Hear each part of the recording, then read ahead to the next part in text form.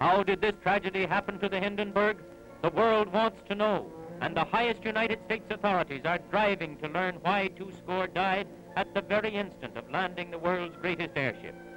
Here is the end of the first trip of 1937. End of all things for the Hindenburg, last of her 21 American voyages. Now at twilight comes the dread end. She is over Lakehurst, nosing in as on so many trips before.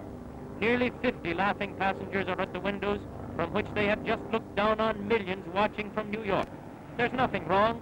The ship levels off, drops her water balance. The ground crew is ready underneath. It's all right, as it has always been all right. She drops her line. This voyage is over, and tonight she is going back to Germany. And then